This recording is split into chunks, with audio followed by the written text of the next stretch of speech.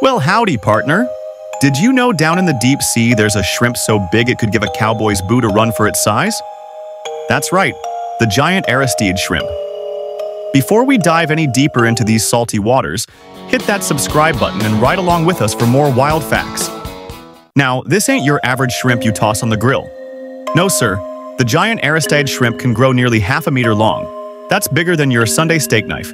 They live way down in the dark, deep parts of the ocean where pressure's so high even a cowboy hat would flatten like a pancake. But don't go thinking these critters are scary outlaws of the sea.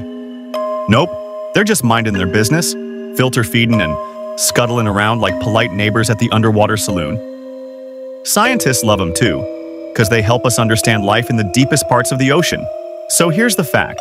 The giant Aristeid shrimp proves even the tiniest critters can be giants when you're looking at them the right way. Stay curious, partner, and keep riding the waves of knowledge with us.